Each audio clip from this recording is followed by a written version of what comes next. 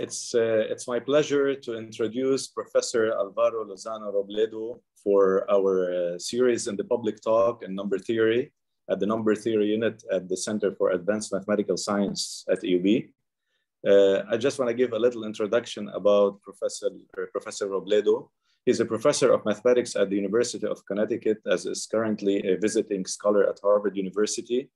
He received his PhD from Boston University in 2004 after temporary positions at Colby College and Cornell University.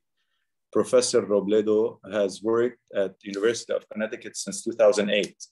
His research is in the area of arithmetic geometry. He has published two books, Elliptic Curves, Modular Forms and Their L Functions, and a book on number theory and geometry.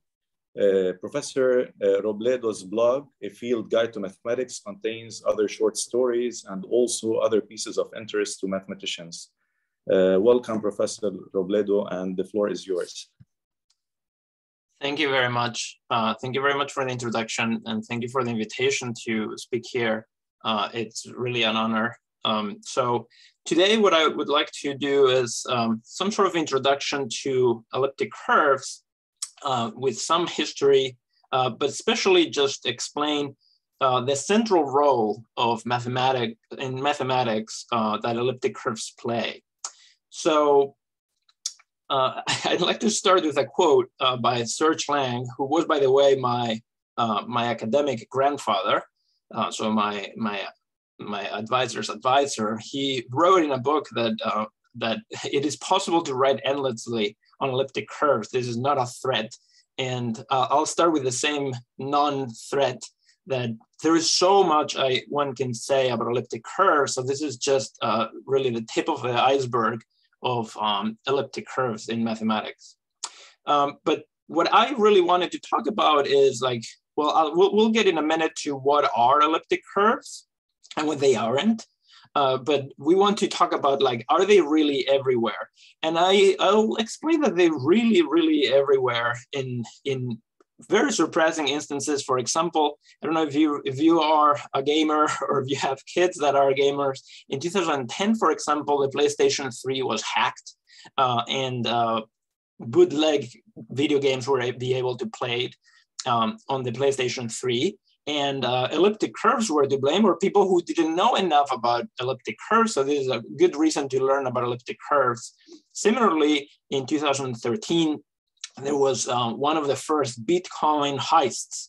And, um, and the reason for this, again, was uh, not, a, not a deep knowledge of elliptic curves, in this case, elliptic curve uh, cryptography, which I hope I have a chance to get to uh, today. So, but elliptic curves, they also appear in more mathematical senses in very surprising ways. For example, this number is, uh, well, it's a very large number, it's a, a real number. And uh, by no stretch of the imagination, it should be this close to an integer. This number is a transcendental number that follows by a theorem of Gelfond and Schneider. So uh, a real number that big that is so close to an integer, why would that be? And it turns out that elliptic curves are to blame. There is an elliptic curve that I'll talk about later that explains why this number has to be so close to one integer. And in fact, it explains why it has to be this close to an integer. But in other circumstances, it is more um, um, very, very usual things in, in number theory. For example, uh, this polynomial is well known in number theory because it takes prime values for the first 40 values for starting from zero up to 39, you get prime numbers. That doesn't work for 40 or 41, but actually the uh, the factorizations of those numbers are also interesting. Uh, but the fact that these are all prime numbers it is also related to elliptic curves, to a certain elliptic curve. And it turns out it's the same elliptic curve to blame uh, from the previous slide. So, um, but not, not just that, the uh, elliptic curve, they really appear, of course, in number theory, but they play a central role in algebraic geometry and complex analysis.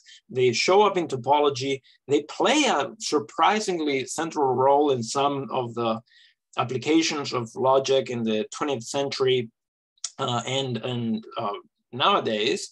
Uh, they show up in in group theory, but also outside of mathematics. They uh, they show constantly in physics and computer science, in art.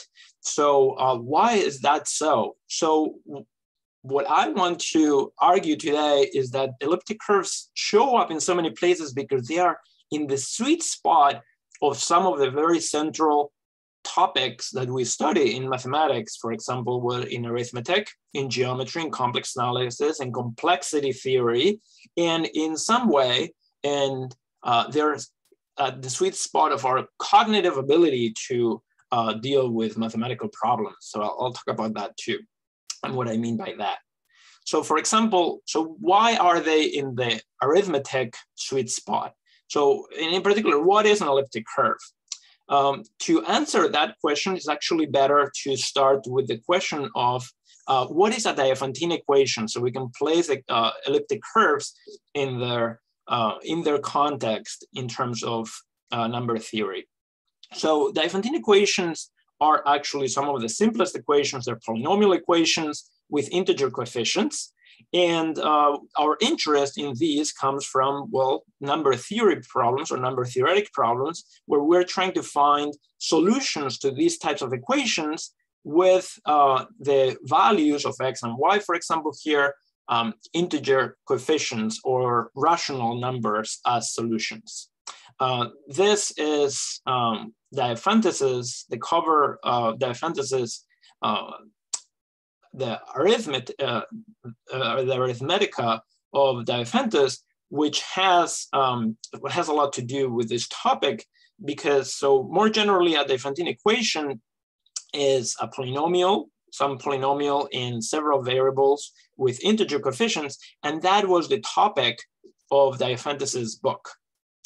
So uh, Diophantus of Alexandria, was born around uh, the year 200 of our, of our era, uh, is known sometimes as the father of algebra. And he's known for uh, that series of books I'm talking about, Arithmetica. He wrote other books. We know that there are other books he wrote, but they didn't have not survived or we haven't found copies of. And Arithmetica is um, it was great because it was the first systematic study of Diophantine equations, and it was used as a textbook of arithmetic uh, for quite a bit, uh, quite a long time. And that's, for example, why Fermat was studying uh, Diophantus's book even much later in the 1600s. And uh, well, if you if, if, you get bored, you can take a, a, screenshot of this image. And I didn't say when he was uh, when um, Diophantus has passed away, because uh, much later, actually, Metrodorus, uh, around the, the, year 500, came up with this epitaph uh, in memory of Diophantus. And this is uh, the solution goes through a Diophantine equation. And if you solve the Diophantine equation, you'll know how old was Diophantus when he passed away. Okay. So uh, I wanted to give you a, a taste of like Diophantus's problems. These are very typical of what Diophantus's problems look like. So in book four, problem 24, the Diophantus asks the following. To divide a given number into two numbers such that their product is a cube minus its side. Um, nowadays, we would be more clear about the statement of a problem. They are all, the way they are stated, are, they're almost like riddles.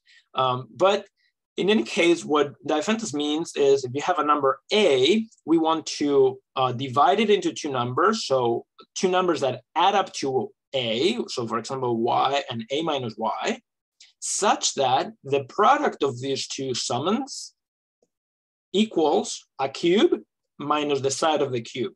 And this is our first example of an elliptic curve. Uh, that equation um, defines a, uh, a elliptic curve. And Diophantus actually gives a solution. He finds a solution and he, um, he finds a solution that y equals 26 over 27 works uh, for the number y here. And I'll, I'll tell you how he finds it because it actually, he starts, this is one of the uh, earliest uh, instances that we have of like the beginnings of the theory of elliptic curves. So in this elliptic curve for a equals six, this is the, um, this in blue is the equation of the elliptic curve.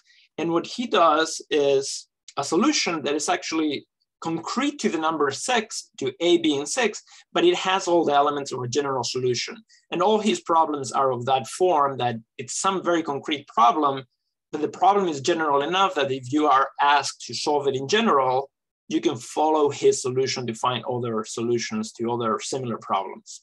In any case, what he does is uh, he notices that there is a point uh, on the curve, which is the point minus one comma zero, and uses that point to create or to draw the tangent line uh, that goes through that point. And uh, the equation of the tangent line is, I'm not giving it here, but you can find the equation just using calculus, which of course there was no calculus at the time of Diophantus, but still they knew how to do this kind of thing. And, um, and he finds the point of intersection of the curve with the tangent line. And that point, by the way, is going to have rational coordinates um, for, uh, for a reason, because this is a tangent point. So there is um, the number of point of intersection of the line and the curve. It's uh, multiplicity two here. So there's gonna be a third point of intersection, which is this one. And because this is a rational point, it turns out that this is also a rational point. In any case, he finds a solution uh, that x should be 17 over 9 and y should be 26 over 27. Great. So that is uh, our first example of an elliptic curve. And again, uh, that's something that shows up in Diophantus. And um, in general, how do we classify Diophantine equations?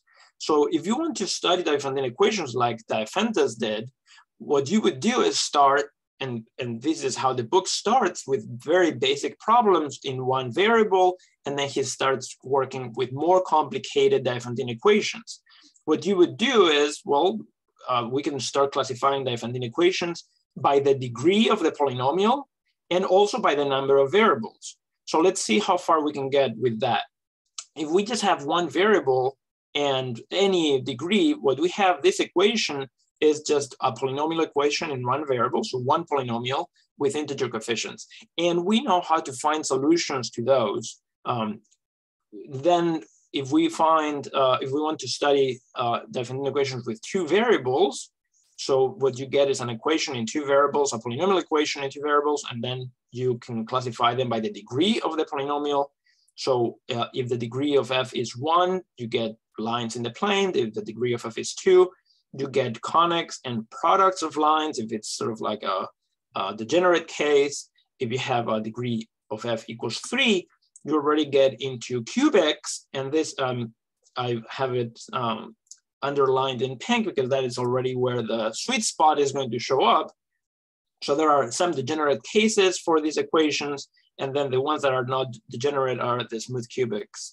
And it turns out that um, whether we can find solutions in these uh, cases, it turns out that um, if you go through a basic course in number theory, uh, the tools that you learn as you start with a very basic course in number theory are the tools you need to solve these type of Diophantine equations. For example, if you want to find integral points on lines, then what you need to know is um, use uh, the theory of divisibility and actually develop the theory of GCDs, of the greatest common divisor, to figure out whether there will be integer points on lines.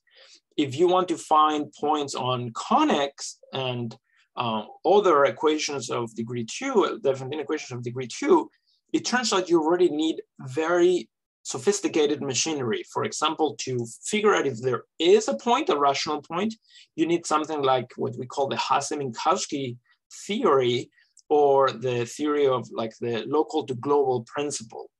And to actually find solutions, integral solutions, you need the theory of continued fractions. I'll give you an example in a minute of how to find a point on that uh, conic. But if we go just one step farther to the degree of f being three, if we try to find solutions of a smooth cubics, we are already stuck. So it just seems that number theorists have been uh, sleeping on the job and we haven't gotten very far in finding solutions, uh, integral or rational solutions of Diophantine equations because we're already stuck with the smooth cubics and two variables. We do not know how to do it. We have conjectural algorithms of how to do it, but we have not proved an algorithm that is uh, proved to stop and um, halt and give you a solution. So uh, these smooth cubics are actually uh, where elliptic curves are. So this is the, the sweet spot of the arithmetic in that, well, at the very least, is the very first time that we don't know how to find solutions in general. This is an example of an elliptic curve that will come up later also. Okay, so more formally, an elliptic curve is uh, an elliptic or a field f. So f can be here the rationals, the real numbers, the complex numbers, or perhaps a finite field is a what we call a smooth projective curve of genus one. I'll come back to what genus means um, with at least one point defined over f. So we study elliptic curves. Those are sort of like, uh, it, it, turns out that every elliptic curve can be given by a Weierstrass model. So it can be given by a cubic model of this form. If the characteristic of the field is not two or three, for example, over the rationals or the real numbers, you can actually find an equation of this form for an elliptic curve. Um, the smoothness, by the way, uh, it has to be in what we call the projective plane. So we think of the affine plane, and then there are some points of infinity that we have to add, and we have to make sure that elliptic curve, the, these curves are not uh, uh, not smooth at infinity also. So for example, this is an example of a curve that self-intersects so that is not smooth, so that would not be an elliptic curve. Um, this is an example of, a, of another curve that's uh, is sort of like self-intersecting that there is a cusp. And this, it's uh, perfectly smooth in the whole affine plane, but there is a, another cusp at infinity. And uh, these actually, these, um, these curves can be dealt with sort of like the lower dimensional tools that we have. So these are not uh, problematic. So they, when the curves are actually smooth, that's when um, we actually do not know in general how to find all the rational points on an elliptic curve of this shape. Okay, so uh, going back to Diophantine equations in general, not just elliptic curves, the solutions can be very intricate and uh, very difficult to find, but we have those algorithms on how to find them. For example, uh, this conic, if you want to find the integral points, so points with integer coefficients on that conic, well, there is a very simple one, which is one comma zero is a point.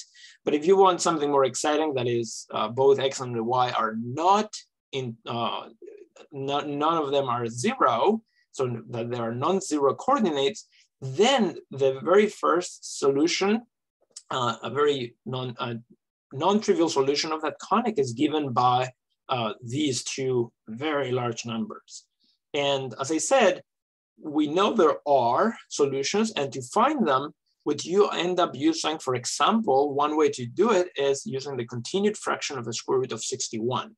So the fact that the square root of 61 can be written, uh, the square root of 61 has what we call a periodic continued function, continued fraction, so it's a fraction of this form and the numbers that we put here in the sort of the diagonal are these numbers.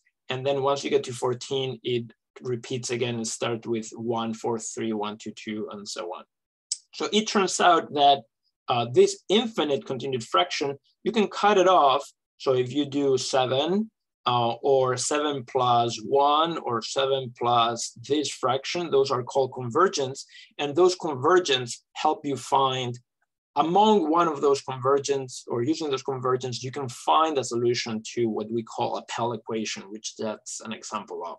So this is just to say that the Diophantine equation, some of the integral solutions are very hard to find, but for degree two, degree one, we know how to do it.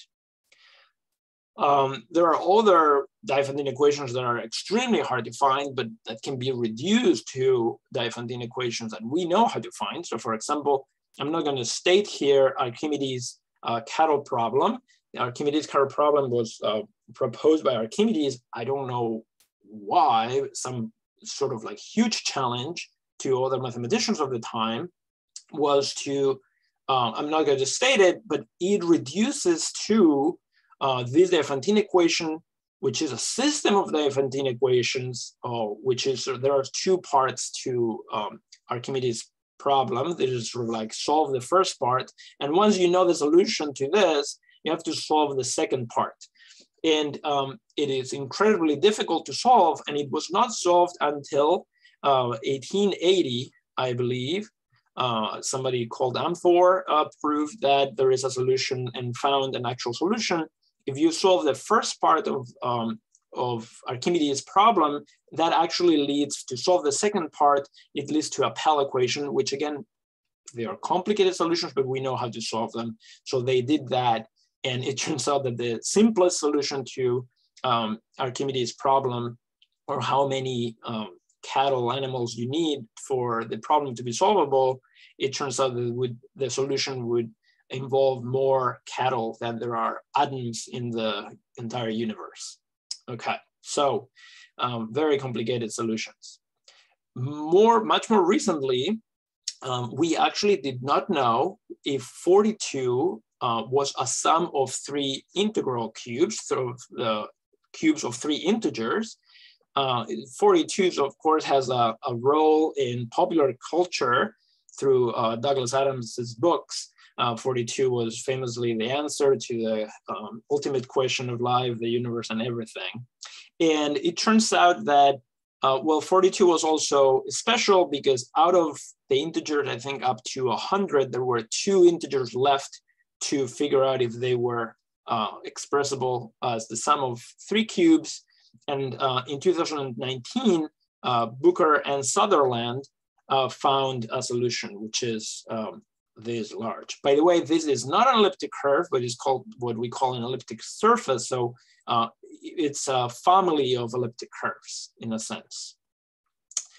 So why I'm, I'm claiming also that elliptic curves are somewhat in the cognitive sweet spot. And what I mean by this is that uh, there are many problems in number theory and otherwise in other areas of math where our uh, our power to state problems and problems that we're interested in and problems that we can think about um, and also that are already challenging enough that we uh, do not have um, a straightforward solution, that is where elliptic curves reside in that sort of cognitive sweet spot of um, problems that are easy to state but already very hard to solve. So let me give you some examples. Some uh, very natural problem to ask is, for example, find uh, are there any cubes, any integers that are cubes and that are exactly one more than a square? That's something very easy to state that reduces to an elliptic curve. So uh, squares that are one more than a cube. So for example, that's a question that is an elliptic curve. That's uh, a short Weierstrass form. It's smooth. So that is an elliptic curve. And through the theory of elliptic curves, which I will not do here, it turns out that the only uh, squares that have that property are zero, one, and nine. Uh, nine, for example, being eight plus one. And there are no others. And in fact, there are no others uh, even among the rational numbers. So there is no rational number, which is a square, and it's one plus a cube other than these three rational numbers. For example, are there any consecutive non-zero integers whose product is a perfect square? Another natural question that leads to an elliptic curve. So this would be a square that is the product of three consecutive numbers. And the, uh, you can actually do a change of variables. So you get a, a little of a cleaner equation. So if you change var variables like this, then you get y squared equals x cubed minus x. And that is an example of an elliptic curve. It's an example actually of what I study uh, for my research, which is elliptic curves with complex multiplication, which are elliptic curves with extra uh, uh, symmetries. Okay, so uh, through the theory of elliptic curves, it turns out there are none. Uh, there are no non-zero integers. You see that there are, of course, there are solutions, which is, for example, minus one, zero, and one. Those are three consecutive integers whose square is zero which is a perfect square. But if you require non-zero integers, then in fact, there are no solutions. And uh, in fact, also there's no solutions among the rational numbers other than with a zero in them. Another problem that is very easy to state at our sort of like cognitive mathematical level is that uh, of what we call the congruent number problem. Is there a right triangle with sides of rational length uh, and area six, well, yes, for example, the Pythagorean triple three, four, five gives you a triangle that is right and gives you an area of six, right? Um, how about area five? That is already a challenging problem. And is in fact, uh, that was solved by Fibonacci in the 1200s as a challenge by no other than the Holy Roman Emperor challenged Fibonacci to find a solution of uh, the problem, congruent number problem for five, and uh, Fibonacci found uh, this triangle, the 23rds, 3 halves, 41 over 6. Is one the area of a, of a right triangle with rational sides? It, it took all the way to the 1600s. Fermat proved that no, that is not the case, and this is in fact the uh, this is an application of his theorem, Fermat's last theorem, uh, for the case of the exponent four, uh, which is actually the only case of Fermat's theorem that Fermat actually proved.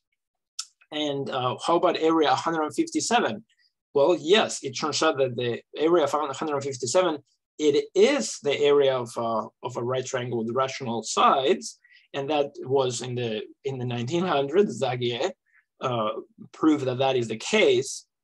And it turns out that this problem is related to elliptic curves because uh, n is a uh, is an area of a right triangle, even only if this elliptic curve has a rational point with y non-zero.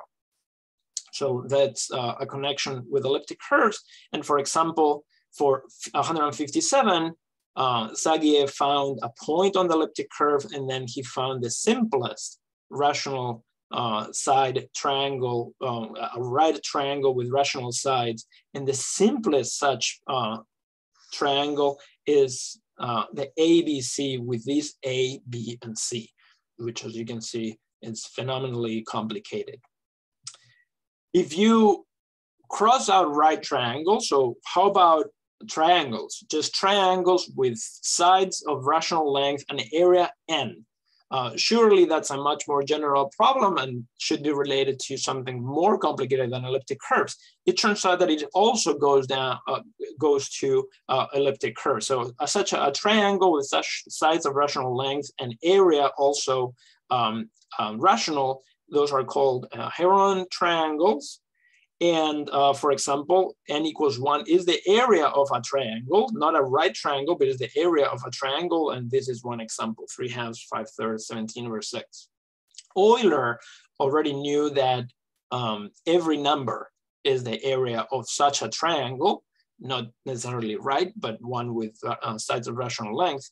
And it turns out um, through some work of Goins and Maddox that they are also related to elliptic curves. So a number n is the area of a Heron triangle, even only if there is a rational number t, some other parameter, such that this elliptic curve has a rational point with y not equal to zero. If you put t equals one, then you get the case of right triangles uh, that we saw before. And um, you can, using this connection to elliptic curves, there's one easier way, much easier than what uh, Euler did, to prove that every number n is the area of a Heron triangle. So here is another problem that is just very, very basic and um, uh, elementary geometry. And uh, that is also very much related to elliptic curves. Of course, Fermat's last theorem was very much related to elliptic curves and much of the um, fame of elliptic curves actually of in the in the late 20th century and today comes from the connection um, to Fermat's last theorem. So Fermat's uh, last theorem, Fermat claimed in the margin of the book of the Diophantus of the Arithmetica, or the Arithmetica that he was reading, he wrote that uh, this equation, sort of like trying to generalize Pythagorean triples to higher exponents, that this equation actually has no integral solutions um, non-trivial integral solutions. So if x, y, or z are not zero, then there are no other solutions to this equation.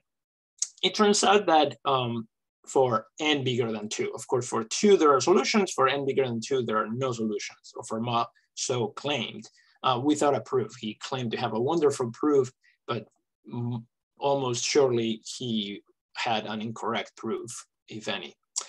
Uh, at any rate, he um, here is the connection to elliptic curves. For example, the exponent three this equation um, over the integers, if you divide through by this z cubed factor, then what you get is this equation. And this equation actually defines an elliptic curve over Q. This is a cubic, a smooth cubic that has at least one point. Um, so it is an elliptic curve. And using the theory of elliptic curves, you can show that there are no rational solutions. So you would prove Maslows theorem for the exponent three just using elliptic curves. But more interestingly, um, for this equation, which is, again, for three is an elliptic curve, but for, for higher powers are not elliptic curves, they are uh, curves of higher genus that we'll talk in a moment, uh, it, the solution also went through elliptic curves by uh, an interesting suggestion of Hellegouarch and then uh, elaborated by Frey that if you have a non-trivial solution of Fermat's theorem, then we should be looking at this fabled elliptic curve. So if there is a solution, there would be this elliptic curve with a very strange property. This elliptic curve would be what we call semi-stable, but it could not be possibly modular. Um, I'm not going to define what those things are, but the, um, the last step was Wiles, Andrew Wiles, and Taylor Wiles. They proved that uh, what we call the Taniyama-Shimura-Weil conjecture, that every elliptic curve over Q, every, uh, they prove the semi-stable case that every elliptic curve is actually modular. But if this existed, there would be a non-modular elliptic curve, and that would be a contradiction. Uh, so that elliptic curve cannot exist, so this solution cannot exist, and that proves Fermat's last theorem um, using elliptic curves. Now, going back to Diophantine equations and how complicated the integral solutions are, um, one can think, okay, we, as I said, we do not have a, an algorithm for, um, um, for elliptic curves, but maybe there is an algorithm. Maybe there is an algorithm. Um, David Hilbert dreamed of an algorithm that works for every Diophantine equation. So uh, Hilbert in the year 1900, at the turn of the millennium, of the turn of the, of the century, uh, he proposed a list of 23 problems.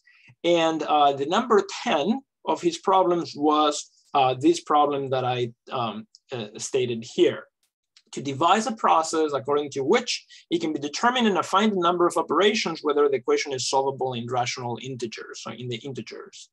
And um, this we know how to do um, for lines, we know how to do it in conics, but we do not how to do it uh, with the smooth cubics, for example, okay? Um, so, but that is not what uh, Hilbert asked. Hilbert asked for one algorithm that would work for all of them and not just for these, but for any Diophantine equation.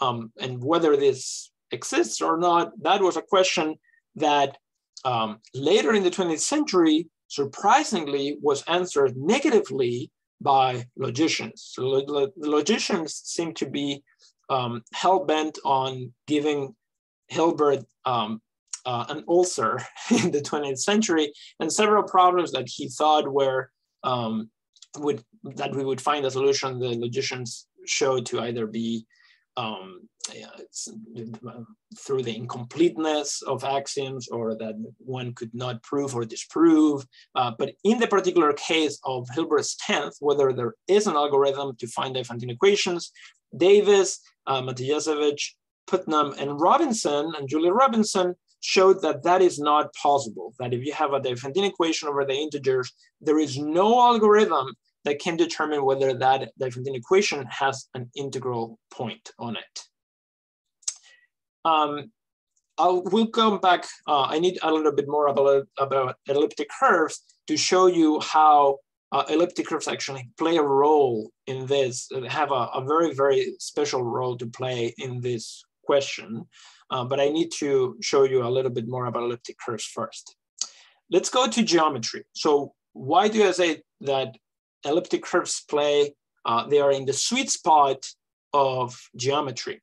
So if you, you look at complex geometry, complex, complex algebraic geometry, or for example, curves, complex algebraic curves, are classified by their genus. The genus here is the dimension of the space of regular differential one forms on the curve. So that dimension of some space of differentials it turns out that plays a very significant role in how we study uh, these curves. So if you have a curve that is given by an equation, we can um, think of, let's think like we were thinking before of our Diophantine equations, it's just write our curve and suppose still that it has integer coordinates, but now we are thinking about all the complex solutions to our uh, equation. So that curve, it turns out, if, once you go to the complex numbers, that is a complex manifold. And uh, according to their genus, when G is zero, when this dimension is zero, then what you get is something like a sphere.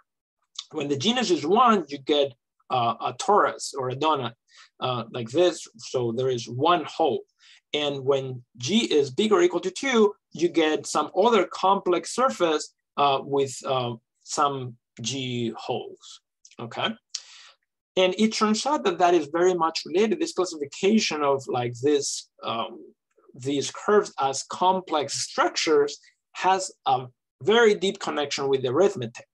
It turns out that if you have lines and conics, so if the degree of your curve is one or two, which corresponds to genus zero. So when your curve has genus zero, it turns out there's a dichotomy that either you have no rational points whatsoever, or you have infinitely many.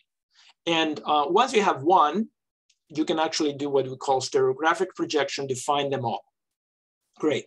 Um, here, in the case of cubics, uh, I wrote cubics plus because there are some degree four uh, equations that are actually birational to, uh, in bijection to cubics, but uh, basically cubics, uh, that is the case of genus one. And this is the sweet spot of geometry because everything can happen. You can have no points whatsoever. You can have a finite amount of, uh, po of points. So you can have like 12 points and that's it. Or you can have infinitely many rational points. So this sort of variety, that doesn't happen in any other case where you can have non-finitely many, I guess none is finitely many also, but sort of like absolutely just empty set, some finite number or infinitely many, that can only happen in the case of genus one. Great. So what about higher genus? So if the degree of your polynomial is degree, homogeneous degree higher than four, then the genus jumps to uh, two or more, and then uh, you cannot have infinitely many points. That's uh, um, what we call the Mordell conjecture, um, which is the, uh, now a theorem of Faltings.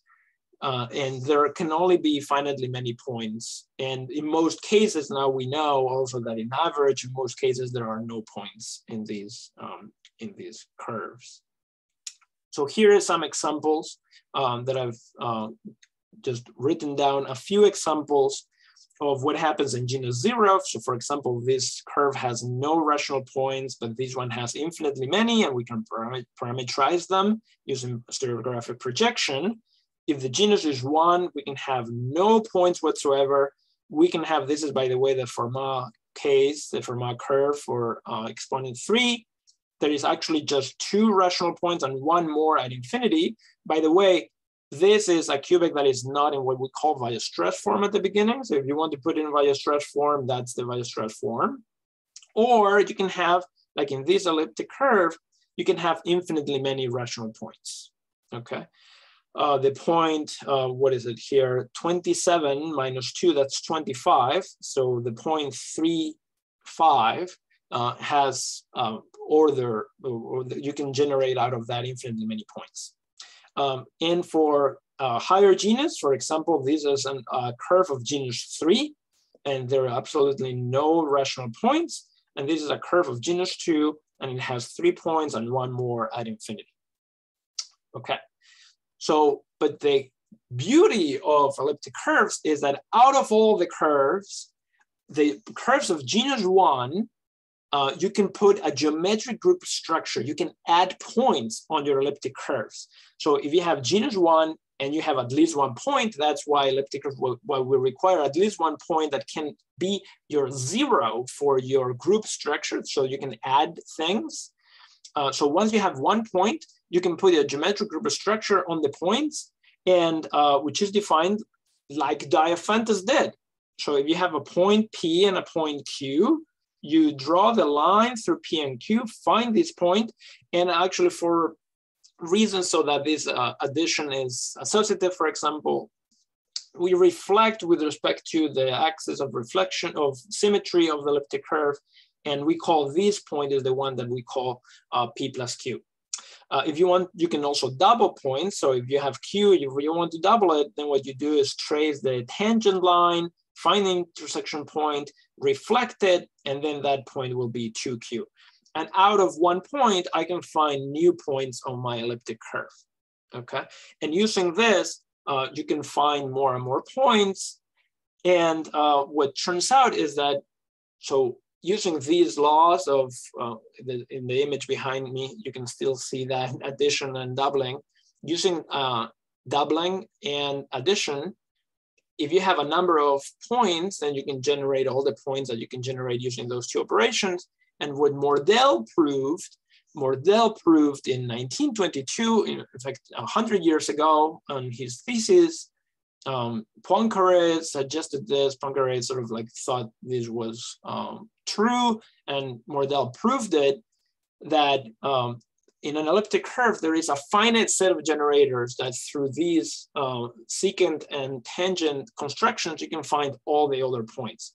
So what that means is that the set of rational points on the elliptic curve, this is how we denote all the rational points, it's what we call a finitely generated abelian group. There is only a finite number of generators that will generate all the rational points. And using algebra, what that tells us is that there is uh, two pieces to an elliptic curve. There is a finite group of points of finite order, which we call the torsion subgroup. And then there is a, a number of generators of infinite order, but some finite number that which we call the rank of the elliptic curve. Um, by the way, we know a lot about this group. Uh, what are the possibilities? Mazur proved that there is exactly 15 possibilities for the torsion subgroup over Q. And um, for example, Noam Elkies has shown that the rank can be uh, at least 28. Uh, but we don't know any elliptic curve with a rank higher than 28. And there is sort of like this controversy or this uh, back and forth between mathematicians, people who think that ranks should be or will be um, unbounded, it can be arbitrarily large, or people that have proposed heuristics that say that the rank is actually bounded. There's uh, a limit of how big the rank can be. And um, maybe 28 is the largest rank, who knows? Um, okay, so um, now that we know about ranks, let me talk to you about uh, Hilbert's 10th again. So Hilbert's 10th problem, remember it was whether there is an algorithm to find a, a solution to a Diophantine equation to determine whether it's a solution in the integers of a Diophantine equation over the integers. So you can change the ring of definition of your uh, of your Diophantine equation. So for example, if you replace the integers by the Gaussian uh, integers, so by a plus bi with a and b integers and i squared equals minus one, this is a new ring. And now you can ask, is there an algorithm to determine if Diophantine equations over z adjoint i have a solution over z adjoint i? And that is a very different problem. That's a different problem that Hilbert's 10th and the solution of Matijasevich and company does not apply here directly. So we have this question, and it turns out that elliptic curves play a very significant role here to decide Hilbert's 10th over other rings. So uh, work of Denef, uh, Pheidas, uh, and uh, Poonen imply the following. Suppose you have a number field F. Inside a number field, a number field can be, for example, Q adjoint I. Um, so the Gaussian numbers, and inside that there is a Gaussian integers.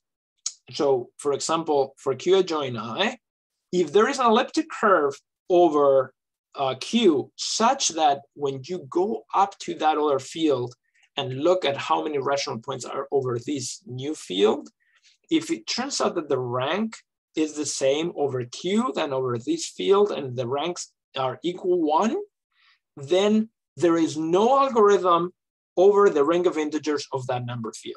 So here I have an example of an elliptic curve. This is an elliptic curve over Q, and the rank over Q is one. But if you go up to this larger field, Q adjoint I, the rank is still one. And therefore, uh, Hilbert 10 is also not solvable over Z adjoint I. There is no such algorithm. So, uh, so it turns out then that you can solve if these elliptic curves exist, which we think they exist for every number field F, we think there is such an elliptic curve, and the people have proved it in many cases now, um, then we know that Hilbert's 10th uh, will also be false over those ring of integers. So here is a, a very interesting connection of elliptic curves about all Diophantine equations. All right, how about in, the, in complex analysis? Um, they also play a fantastic role in complex analysis um, in the theory of Riemann surfaces. So that is a central object of study in complex analysis, that of a Riemann surface, uh, which is a connected one-dimensional complex manifold. So get, let me give you an example of a compact. So a complex manifold, for example, the complex plane is a complex manifold. Um, and a compact Riemann surface, uh, this is not compact if you just think of the complex numbers. So what we do is a one point compactification. Think of the complex numbers wrapping up and just leaving one point at infinity and then add one more point at infinity. That gives me what we call the Riemann sphere. And uh, that is a one point compactification of the complex numbers and it gives you uh, um, a Riemann surface that is compact.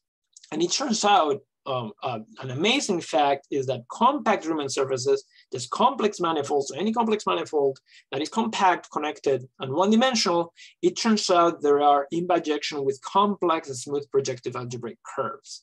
So for example, this compactification of the complex plane corresponds to just the line, the projective line over the complex numbers, uh, which is, by the way, um, when, when we talked about genus of algebraic curves, this is a genus zero algebraic curve.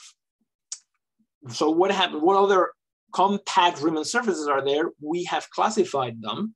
Um, so um, here's another source of Riemann surfaces that are compact are the following. You take the complex plane, you draw a lattice. So these sort of like, you see these points that forms a lattice on the plane. Um, I'm going to generate lattices by one and tau, uh, some complex number tau.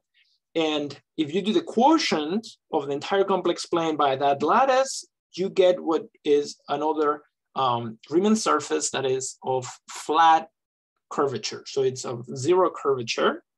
And it turns out by what we call the uniformization theorem is that every Riemann surface like this is actually an elliptic curve. There is an elliptic curve as a complex algebraic curve, an elliptic curve, genus one, that uh, is in correspondence with this Riemann surface that is isomorphic to that Riemann surface as complex manifolds. Uh, you can do other structures in the uh, compact Riemann surfaces. The other compact Riemann, Riemann surfaces come from um, quotients of the hyperbolic plane. So you take the upper uh, complex plane, and then if you have a Fuchsian group acting on that complex plane, uh, you do the quotient, and these ones that have negative, the ones with negative curvature, those corresponds to the curves of genus uh, bigger or equal to two. And uh, those are the rest of Riemann surfaces. So the fact that these ones, the only ones that have zero curvature are the elliptic curve that makes elliptic curves play a very important role. But it turns out that even for the higher genus uh, Riemann surfaces, elliptic curves also play a role. So it turns out that if you start with one of these quotients and you look at the holomorphic differential forms in here, that leads to the concept of modular forms attached to this Fuchsian group. And it turns out that in, in some special cases, but in many cases, these modular forms actually correspond to elliptic curves themselves, which is part of the modularity, um, which was part of the proof of Fermat's last theorem. So elliptic curves actually are sort of like pieces of the complex structure of these uh, higher genus uh, curves. By the way, uh, this concept of modular forms has also been elaborated in algebraic uh, topology um, by Hopkins, Mahowald, and Miller, to define what they call the um, topological modular forms. So there is some sort of uh, analog of elliptic curves or modular forms in algebraic topology here. Uh, by the way, there is also a very cool relationship between these and uh, art, which is that if you take out the, the circle model of the hyperbolic plane and you do, uh, you look at, um, um, uh, you look at geodesics in the plane, then you can do tessellations of the complex plane. For example, Escher, uh, the artist, has like very cool uh, um, uh, pictures that he did using this concept uh, from the uh, from these quotients of the hyperbolic plane. All right. So in the sweet spot, by the way, um, so going back to uh, elliptic curves, remember, so quotients of the complex plane by lattices are over just up to isomorphism of these Riemann surfaces, they are in correspondence to elliptic curves of the complex numbers under isomorphism, and we can actually parameterize all of them. It turns out there is one elliptic curve for the complex numbers for each complex number. Uh, and uh, I can actually tell you how to go from one to the other. So if you have a, a Riemann surface like this, then it turns out there is a formula for the elliptic curve that it is isomorphic to using what we call elliptic functions. And giving an, ellip uh, an elliptic curve, you can actually uh, give a complex number that tells you what is the complex isomorphism um, type of that elliptic curve, which is called the J invariant, which is also given by uh, these elliptic functions. And uh, so the J invariant, because it's some uh, periodic function, you can actually give it a Fourier expansion in terms of e to the 2 pi i tau, and you have um, what we call the Q expansion of the J invariant, which again is just a, a, Fourier expansion of the modular J invariant that classifies elliptic curves up to isomorphism. But it turns out there is a very surprising, amazing connection to group theory that was discovered in 1978 by John McKay. Uh, what he discovered is that the numbers that appear, not 744, although that appears in other uh, cases of this theory, um, these numbers are actually um, sums of linear combinations of the dimensions of irreducible representations of the monster group, um, which is the largest of the sporadic uh, finite simple groups um, in, in group theory. So this amazing connection um, was just um, just like blew people's minds. Uh, this was called the monstrous moonshine, that somehow the monster group is shining in here. You can see some um, reflections of it in the J invariant somehow. And uh, later, Conway and Norton came up with a specific uh, conjecture of why this was happening. And Borcherds proved that connection in 1992, uh, earning him a Fields Medal for that uh, particular work on moonshine. Okay, uh, by the way, I, I wanted to go back to the number e to the pi square root of 163. It turns out that this elliptic curve is to blame for that. This elliptic curve, uh, the tau for the lattice is this tau. And if you put this tau here, then you get that this number is this number. And it has to be very close to an integer because the theory, the theory of complex multiplication, which this elliptic curve has, complex multiplication tells you that this number is an integer. So this number has to be very close to an integer. These are very small numbers. Uh, so it explains that. By the way, there is more connections between, um, between these lattices and art. Uh, there is a, a, very beautiful picture of Escher where there is this guy is in a gallery looking at a painting, and in the painting there is a, a, harbor, and in the harbor there's a gallery, and in the gallery there is a person looking at the painting. So this painting that is sort of so amazing. Uh, Escher did not complete the painting. There was a step missing in there. I'm not sure if he just didn't know how to complete it, but de Smit and Lenstra using elliptic curves, thinking of this as uh, drawn on an elliptic curve, uh, it turns out that uh, they were able to complete the picture. So you see they, they were able to complete the drawing using elliptic curves.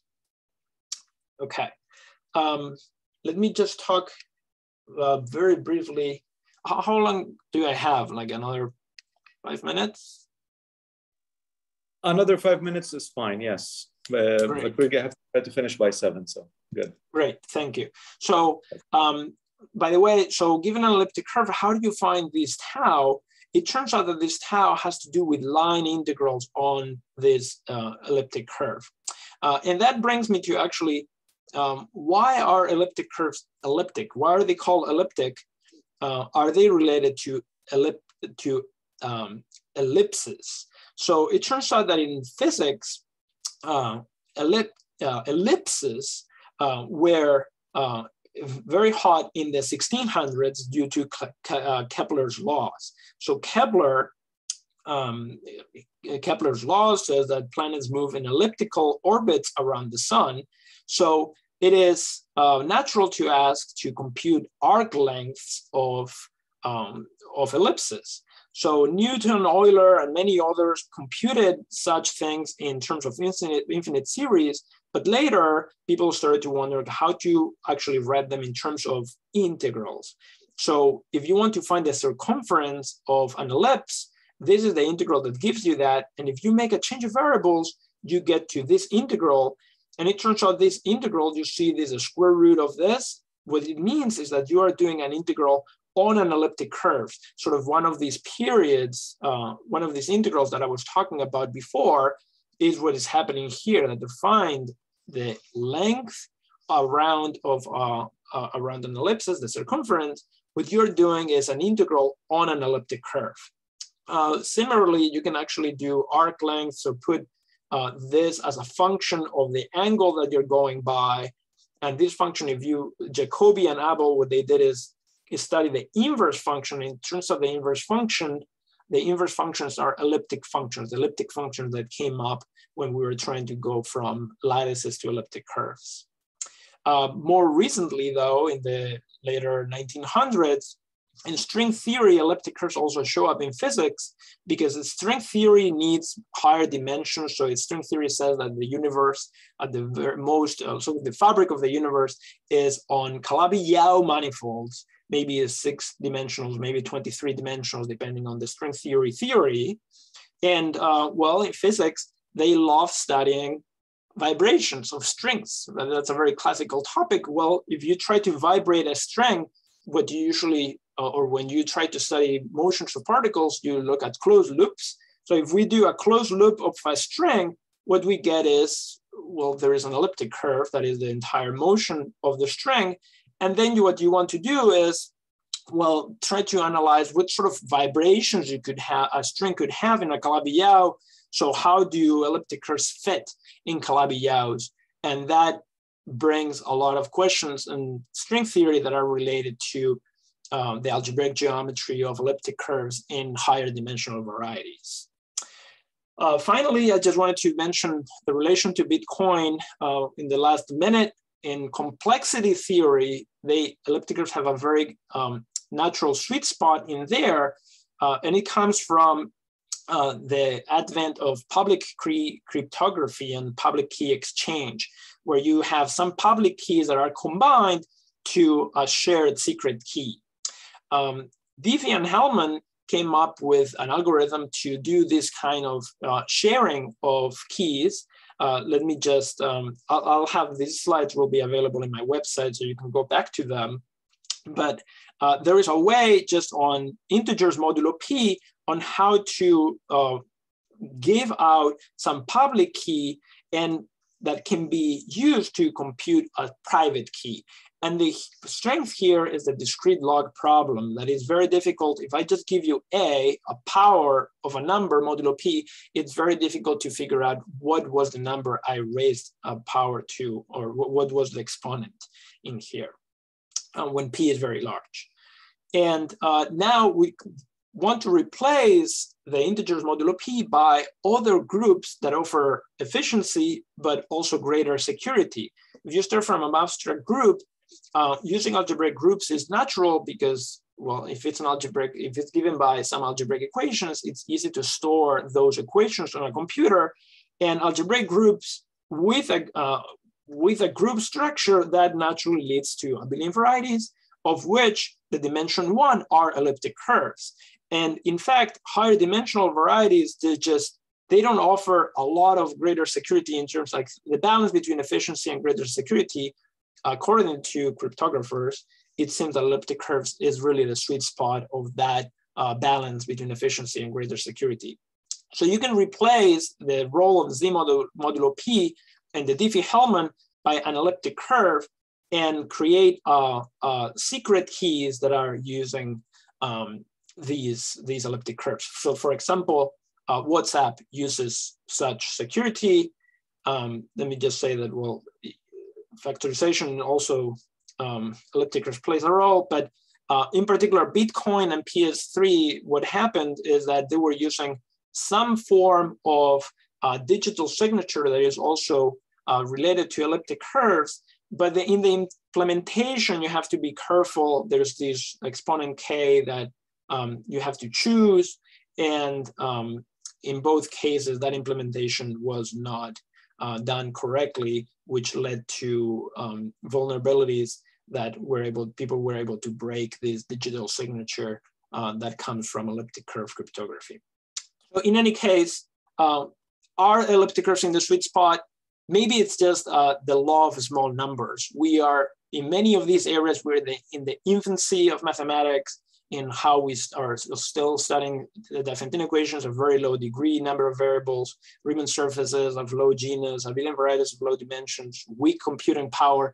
All those small numbers lead to uh, elliptic curves, but maybe as mathematics grows a little um, wiser, uh, we will uh, step out of the sweet spot of elliptic curves into um, realms of other higher dimensional abelian varieties. Okay, so I think I'll stop there. Thank you.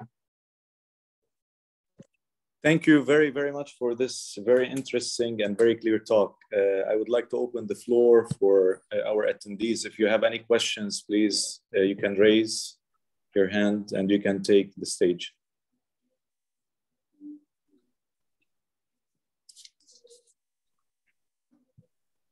Yeah, I, I, I just, would love to. I would love to answer any questions question by the audience. Uh, I have a question. Uh, Kamal, Kamal, you can go ahead.